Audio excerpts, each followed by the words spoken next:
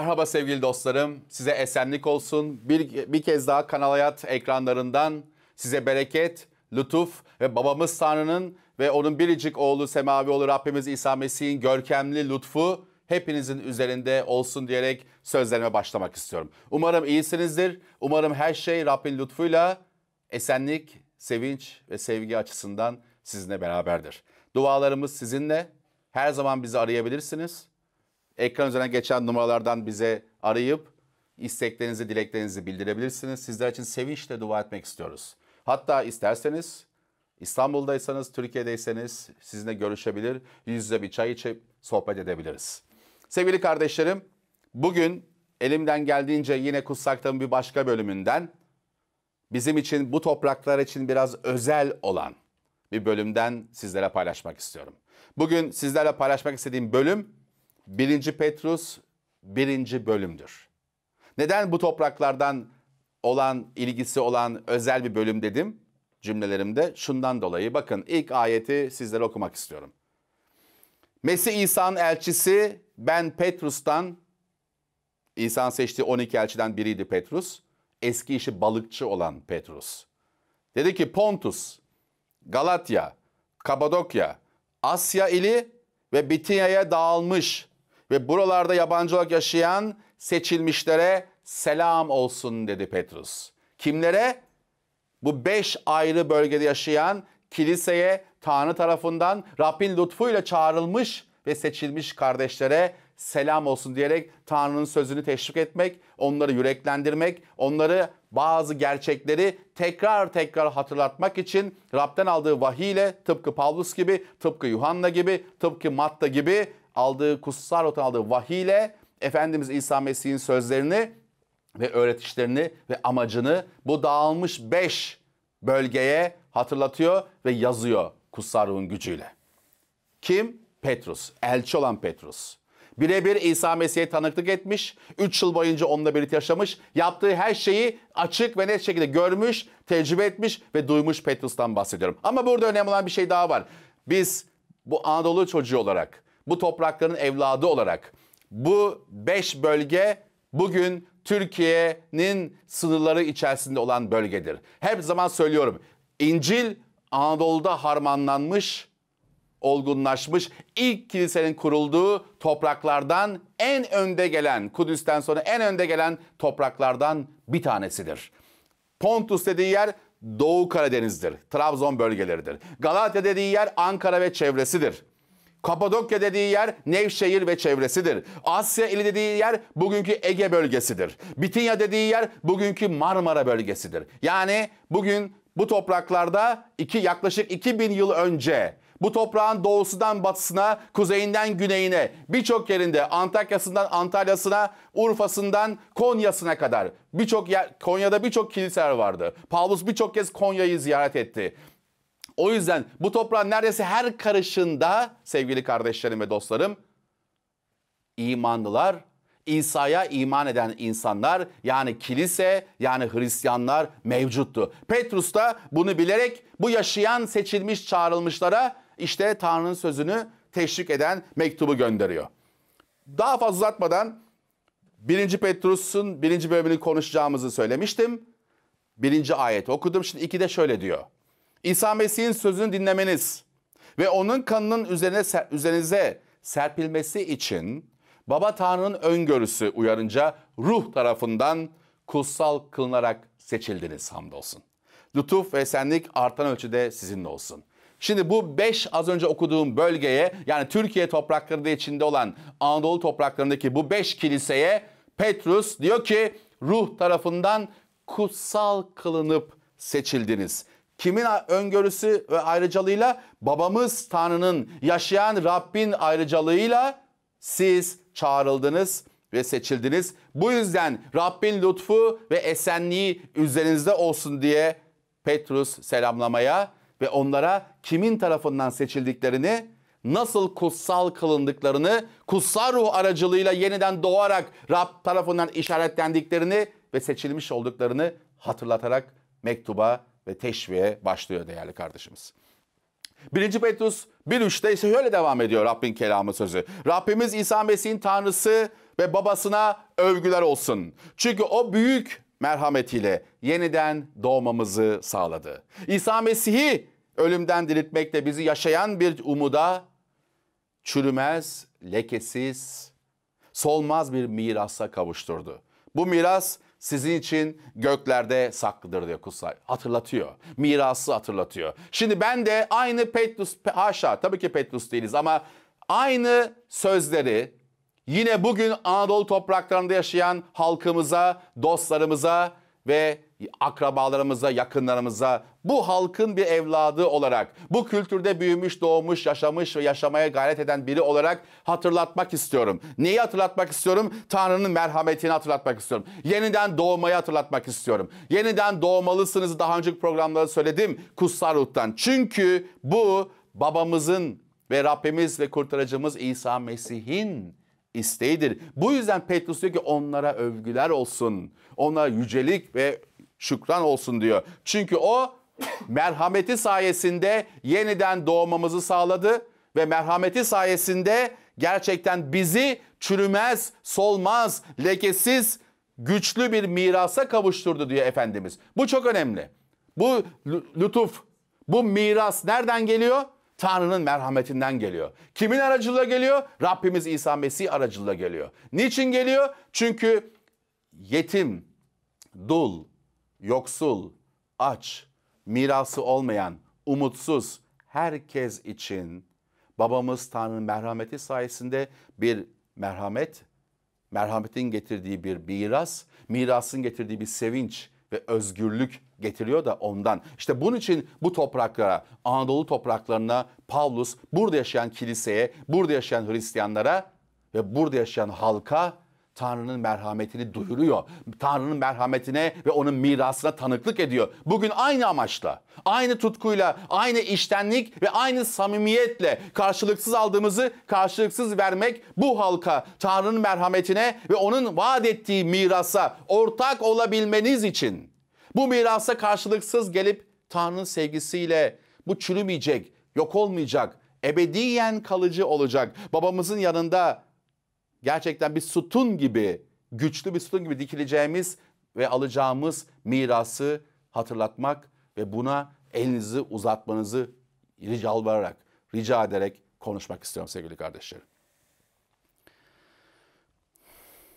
Dediği gibi kutsal yazıların zaman sona ererken açığa çıkarılmaya hazır olan kurtuluşa kavuşmanız kavuşasınız diye iman sayesinde Tanrı'nın gücüyle korunuyorsunuz. Bu nedenle 6. Şimdi kısa bir süre çeşitli denemeler sonucu acı çekmeniz gerekiyorsa da sevinçle coşmaktasınız. Gerçekten bu miras bizim için göklerde saklı.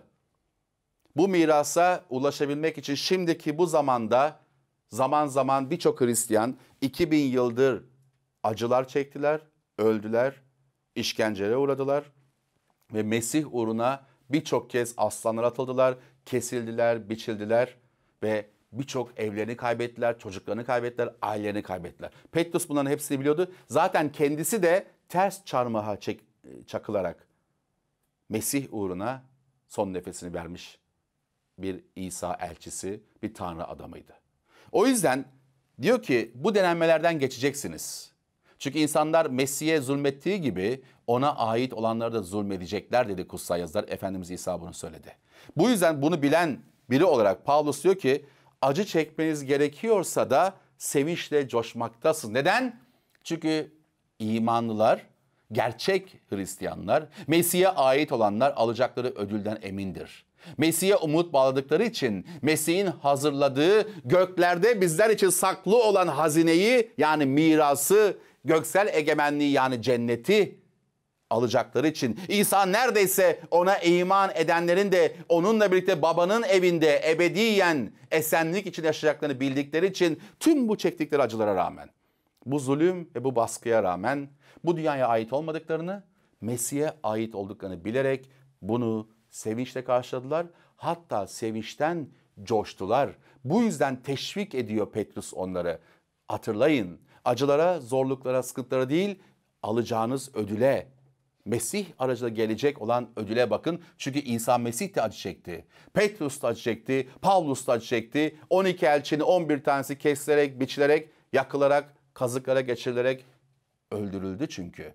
Aynı şekilde diğer bu beş bölgeye dağılmış Hristiyanlara da Anadolu topraklarında o dönemin imparatorlukları aynı zulmü tek bir tanrıya inandıkları için, putlara tapmadıkları için, putları reddettikleri için, ahlaksızlığı reddettikleri için, tek eşliliği savundukları için, tek kadını savundukları için, evliliğe ve kutsallığa saygı gösterdikleri için ve Rabbe kulluk etmeyi seçtikleri için zulüm, baskı ve gerçekten büyük acılar çektiler ama yine de sevinçle coştular.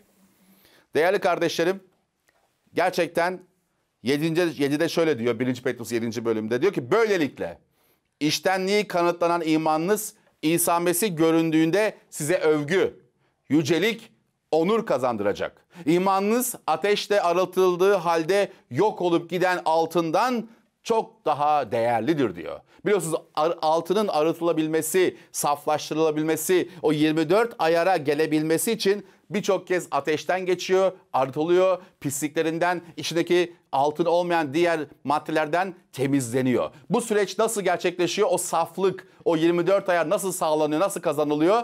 Ateşten geçirerek. Yani altının canına okunuyor. O yüzden aynı örneği o yok olmasına rağmen diyor ki size verilecek olan yücelik, size verilecek olan övgü asla ve asla yok olmayacak. Neden? Çünkü Mesih'e aitsiniz. Mesih'in mirasına aitsiniz. Mesih'in kutsal ruhuyla mühürlendiniz ve bu yüzden ne yaşıyorsanız yaşayın alacağınız ödül büyük olacaktır. Altından çok daha değerli, çok daha pak ya da dünyadaki en kıymetli elmastan çok daha üstün olacaktır. Çünkü onlar yok olacak. Dünyaya ait olan her şey yok olup gidecek, çürüyüp gidecek. Ama imanınız sayesinde, Mesih sayesinde mirasınız ebediyen kalacak diyerek bu Anadolu topraklarındaki kiliselere Petrus teşvik ediyor. Onları yüreklendiriyor. Çektikleri acılar konusunda sabırlı olup Rabbe güvenme konusunda onlara örnek oluyordu değerli kardeşlerim. Ve devam ediyor. Diyor ki 8'de Mesih'i görmemiş olsanız da Petrus görmüştü ama o yeni kurulan kiliseler Mesih'i bedence görmemişlerdi. Olsanız da onu seviyorsunuz. Şu anda onu görmediğiniz halde ona iman ediyor. Sözle anlatılmaz yüce bir sevinçle coşuyorsunuz. Neden? Çünkü Efendimiz İsa Mesih diridir. Efendimiz ne dedi? Kudüs'ten ayrılmayın göğe alınmadan önce. Kutsal ruhu alıncaya dek Kudüs'te kalın. Sizi öksüz bırakmayacağım. Size yardımcıyı göndereceğim. Size o geldiği zaman size benim söylediğim her şeyi hatırlatacak. Çünkü benim olanları alacak ve size iletecek dedi kutsal ruh için. Her imanlı, samimi imanlı, Mesih'i Rab ve kurtulacak kabul etmiş olan her bir can kutsal ruhu alır ve yeniden doğar. Bu yüzden İsa bedensel olarak görmeseler de Mesih'in ruhu, ya içlerinde yaşayan Mesih'in ruhu sayesinde sevinçle coşuyorlardı ve şükranla onun sağladığı kurtuluşa amin diyor. Tek bir yaşayan Tanrı'ya kulluk etmeyi seçiyorlardı. Bu topraklarda 2000 yıl önce putperestler varken tek Tanrı'yı tanımayan birçok insan yaşarken bu kardeşler bu dağılmış 5 bölgedeki Trabzon'daki, Ankara'daki, Konya'daki, İzmir'deki, bu Marmara'daki bu insanlar, Bursa çevresindeki insanlar Rabbi tapınan, Rabbi öven ve ona kulluk ederek sevinçle coşan kişilerdi. Tekrar Petrus onları hatırlatarak imanları konusunda imana sadık olma ve yürüme konusunda onları teşvik etmektedir. Çünkü neden? Neden onları teşvik ediyor? Neden onları ısrarla yüreklendiriyor? Sık sık ziyaretler ediyorlardı. Petrus olsun, Pavlus olsun, e, Timoteus olsun, Luka olsun, Markos olsun. Neden? Çünkü onları bu ruhsal savaşta, bu zorluklar zorluklarda yüreklendirmek istiyordu. Pardon. Çünkü diyordu ki 9'da imanınızın sonucu olarak canlarınızın kurtuluşuna erişiyorsunuz. Yani diyor ki ey sevgili kardeşim. Petrus şöyle diyor. Bak eğer İsa Mesih'e iman edersen, yüreğini ona açarsan, tüm canın tüm aklınla onu översen, senin canın bu iman sayesinde kurtulacak ve kurtuluşa erişeceksin diyor. İşte bu yüzden bu çok önemli. Çünkü hep söylüyorum bu beden bir gün Topraktan geldik, toprak olup, toprak olup gideceğiz. Yani çürüyüp gidecek. Eser kalmayacak. Ne sizde ne bende. Doğduğumuz kadar gerçek değil mi ölüm, dünyasal ölüm? Bu bir gün bizi hepimiz yakalayacak. Rab hepinize uzun ömür versin, sağlıklı bir yaşam versin ama bir gün ölüm sizi yakalayacak. Peki canınız ne olacak? Ruhunuz ne olacak? Diyor ki işte bu can kurtulsun, cehenneme gitmesin diye bu kurtuluş, bu imandan gelen kurtuluşu bugün Petrus bugünkü Anadolu topraklarında yaşayan Hristiyanlara hatırlatıyor. Ben de bugün bu topraklarda yaşayan halkımıza yalvarıyorum ve hatırlatıyorum. Canlarınızı kurtarın. Mesih'in size uzanan elini tutun.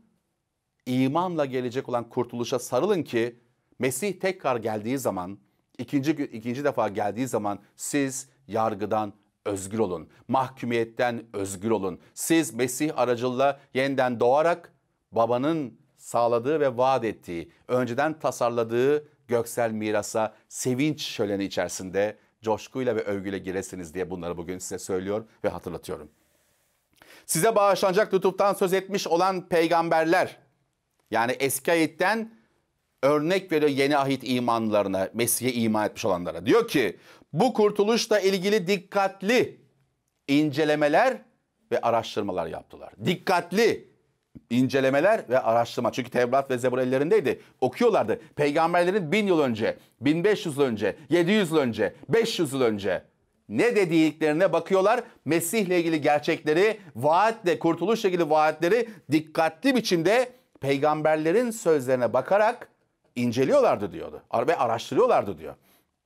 İçlerinde olan Mesih'in ruhu, Mesih'in çekeceği acılara, ve bu acıların ardından gelecek yüceliklere tanıklık ettiğinde eski ayetten okuduklarında Mesih ile ilgili sözlere baktıklarında Mesih'in acı çekeceğini, öleceğini ve dirileceğini ve kurban kuzusu olarak geleceğini, Tanrı tarafından gönderileceğini, büyük mucizeler ve harikalar yapacağını, insanları iyileştireceğini ve insanlık için kurtuluşu için ona iman herkesin İbrahim'in dediği gibi, Davut'un dediği gibi ve diğer peygamberlerin söylediği gibi kurtulacağına ve yaşama kavuşacağına peygamberler tanıklık etti. Zaten Mesih'in ruhu Mesih ile ilgili gerçekleri hatırlatıyor ve onlara yazdırıyordu. Çünkü hatırlayın sevgili kardeşler Mesih ne dedi? Size doğrusunu söyleyeyim. İsa Mesih dedi ki İbrahim doğmadan önce ben varım. Babaya dua ederken ne dedi Yuhanna 17'de? Baba dünya var olmadan önce senin de hangi yücelikteysem şimdi beni tekrar o yüceliğe yücelt dedi. Yani İsa Adem'den önce de vardı, İbrahim'den önce de vardı. Bu yüzden Mesih'in ruhu kutsal yazılarda Mesih'le ilgili gerçeklere tanıklık ediyordu ve bunları söylüyordu.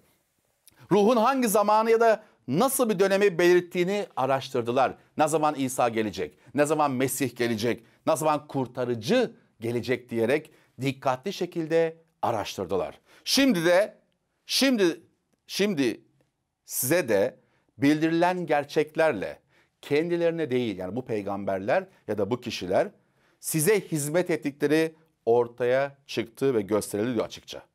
Bu gerçekleri gökten gönderilen kutsal ruhun gücüyle size müjde iletenler bildirdi.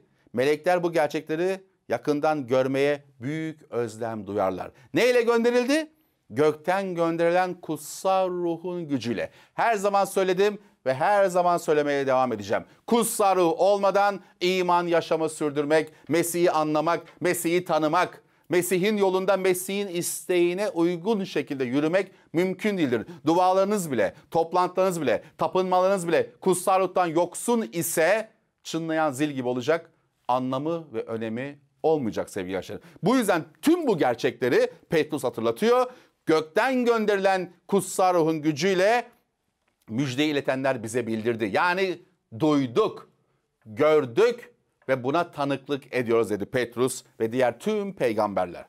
Bu nedenle hani bu kadar açık, bu kadar her şey netken eski ayette, peygamberlerde, şimdi yaşayan bizler ve görenler olarak diyor Petrus. Kutsarın gücüyle buna tanıklık etmiş, bunu tecrübe etmiş olanlara diyor ki bu nedenle zihinlerinizi eyleme hazırlayın. Kilisenin eylem içerisinde olması lazım değerli kardeşim. Kutsal ruh var, kutsal ruh hazır, Mesih hazır. Babamızın isteği budur. Kilise kutsal ruhun gücüyle dolmalı. Bu vaatleri, bu gerçeği hatırlamalı. Bunları dikkatli bir şekilde inceleyip araştırmalı ve eyleme hazır olmalıyız Rabbin gücüyle. Ayık olun. Umudunuzu tümüyle İsa Mesih'in görünmesiyle size sağlanacak olan lütfa bağlayın diyor, hatırlatıyor. Ben de bugün hatırlatıyorum. Ayık olmak zorundayız. Hazır olmak zorundayız. Ve bize gönderilen kutsal ruh aracılığı Tanrı'nın lütfuna bağlayarak umudumuzu yeşertmeliyiz. Kiliseye miskinlik, kiliseye uyumak, kiliseye bezgin olmak, sevinçsiz olmak yakışmaz. Çünkü kutsal isteği bu değildir. Coşku, sevinç, merhamet, ağlayış, gözyaşı, diz çöküp dua etmek yakışır kiliseye. Yoksula, yetime, dula, eylemde hazır olun diyor. İhtiyacı olanlara giden kilise olmalı kilise. Zor zamandakilere el uzatan olmalı kilise. Barış elçileri olmalı. Düşmanlarını seven olmalı. Mesih gibi onları bereketleyen, düşmanına dahi yemek ve su veren kişiler olarak ayık ve uyanık, eyleme hazır kişiler olmalıyız. Yetimlerin, dulların, açların ve fakirlerin yanında duran, onlara yardım eden, özellikle iman ailesine karşılıksız aldığımızı karşılıksız veren kişiler olmalı. İnsan arasında asla ayrım yapmadan, kadın erkek ayrımı yapmadan onlara Mesih'in bize öğrettiği gibi büyük lütufla gitmeli ve eylem ve hizmet etmeliyiz değerli kardeşlerim. Söz dinleyen çocuklar olarak bilgisiz olduğunuz geçmiş zamanlardaki tutkunuza uymayın. İman etmeden, Mesih'i tanımadan, Tanrı'nın sözünü bilmeden önceki yaşantınıza dönmeyin, tutkularınıza dönmeyin. Söz dinleyen çocuklar olun diyor. Çünkü neden? Sizi çağıran Tanrı kutsal olduğuna göre siz de her davranışınızda kutsal olun. Çünkü kilise demek taş binalar, büyük katedraller demek değil. Ne yazık ki halkımız, sevgili dostlarımız bunu böyle zannediyor. Ama İncil'e göre kilise biziz. Bedenlerimiz, Tanrı'nın ruhu, Mesih'in ruhu bizlerde yaşamaktadır. Başımız Mesih, önderimiz Mesih yani İsa'dır. Tanrı'nın ruhu bizde yaşıyorsa, Rabbin kendisi bizde yaşamayı seçiyorsa nasıl bedenlerimizi ahlaksızlığa, fahişeliğe, zinaya, cins ahlaksızlıklara ya da bedenimizi kötü kullanmaya açabiliriz? Tanrı'nın tapınağı biziz. Tanrı'nın tapınağını temiz tutmalıyız. Bak diyor ki nitekim şöyle yazılmıştır. Kutsal olun çünkü ben kutsalım 1.16'da. Kutsal olun çünkü ben kutsalım. Hatırlayın İsa tapınağa girerken orada para bozan, ticaret yapan, keçi koyun satan yani duadan çok, tanrısal ibadetten çok işin ticaretine, işin doğruluk ahlak bölümü değil yolsuzluğa, üç kağıda hizmet edenleri eline aldığı kırbaçla kovaladıysa babamın evine dua evi siz buraya haydut inine çevirdiniz dedi. Biz babamızın evi biziz. Onun evi sizsiniz diyor. O zaman bu evi temiz tutmalı. Yüreklerimizi ve düşüncelerimizi kutsal, kutsal ve pak kılmalıyız. Kutsal ruhun gücüyle ve Tanrı'yı hoşlanan bir hizmetle. Sevgili kardeşlerim, kutsallık çok önemli. Doğruluk çok önemli. Özellikle gizli yaşantılarımızda. Rab çünkü her şeyi görüyor ve biliyor. Buna çok dikkat etmeliyiz. Ve bu konuda bir eksiğimiz, bir gediğimiz varsa tövbe etmeliyiz. 17'de diyor kimseyi kayırmadan kişiyi yaptıklarına bakarak yargılayan Tanrı'ya baba diye çağırdığınız çağırdığınıza göre gurbeti andıran bu dünyadaki zamanınızı Tanrı korkusuyla geçirin. Bu dünyaya ait değiliz. İsa sürekli söyledi. Ben bu dünyaya ait olmadığım gibi siz de bu dünyaya ait değilsiniz dedi. Cesur olun dedi. O yüzden gurbetteyiz. Bir yolumuz, bir hedefimiz, bir umudumuz var. Mesih'in hazırladığı yeni yer ve yeni gök umudu. Bu yüzden hatırlatıyor. Rab korkusunda geçirin. Rabbin Rabbe olan saygıyla, Rabbe olan sevgiyle bu korkuda, tanrısal korkuda, kutsallıkta, paklıkta onunla geçirin diyor kutsal kitap. Biliyorsunuz ki atanızdan kalma boş yaşayışınızdan altın ya da gümüş gibi geçici şeylerle değil, kusursuz ve lekesiz kuzuyu andıran Mesih'in değerli kanın fidyesiyle kurtuldunuz. Tekrar hatırlatıyor. Neyle kurtuldunuz? Parayla değil, pulla değil, altınla değil, gümüşle değil. Mesih'in çarmıhta akıtılan kutsal kanı, onun fidyesi aracılığıyla satın alındınız. Tanrı tarafından günahlarınız bağışlandı ve affedildiniz diyor yazılar. Bu yüzden şükredenler bunun kıymetini bilenlerden olmalıyız. Dünyanın kuruluştan önce bilinen Mesih çağların sonunda sizin yararınızı ortaya çıktı diyor. Bizi kurtarmak, kanıyla bizi aklamak için, Tanrı ile barıştırmak için geldi diyor. Bu yüzden eski yaşantınıza bakmayın diyor. Eski yaşantınızı unutun. Eski Hakan öldü, eski Mehmet öldü, eski Ayşe öldü, eski Hatice öldü. Artık Mesih'te yeni bir Hatice, yeni bir Hakan var. O yüzden Mesih'in bizi kurtardığı fidyeyi hatırlayarak, şükrederek, gözlerimizi göğe çekivererek onun ardınca gitmeli ve ona bakmalıyız kardeşim. Ölümden dirilip yücelten Tanrı'ya onun aracılığıyla iman ediyorsunuz. Böylece imanınız ve umudunuz Tanrı'dadır diyor kutsal yazılar. Gerçeğe uymakla kendinizi arıttınız. Kardeşler için işten bir sevgiye sahip oldunuz. Onun için birbirinizi candan ve yürekten sevin. Candan ve yürekten tıpkı Mesih'in bizi candan ve yürekten sevdiği gibi. Tıpkı İsa'nın bizim uğrumuza canını vermesi gibi. Bu yüzden ölümden dirilmiş Mesih Tanrı tarafından yüceltildi. Böylece bu yücelik, bu imandan gelen yücelik ve umut bugün bizim içinde var ve bunun hepsi yaşayan babamız Tanrı'dan bizlere verilmiştir. Gerçeğe uymakla kendinizi arıttınız diyor.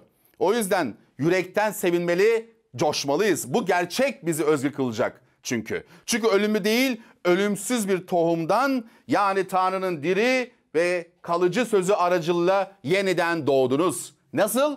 Tanrı'nın tohumu, sözü, diri aracılığıyla doğduk. Ölümlü değil, ölümsüz tohumdan doğduk. Her tohum ölüp gidiyor ama Tanrı'nın vaat ettiği tohum içimize Mesih aracılığıyla, kutsal ruh aracılığıyla ekilmiş olan, yüreklerimize ekilmiş olan tohum ölmeyecek.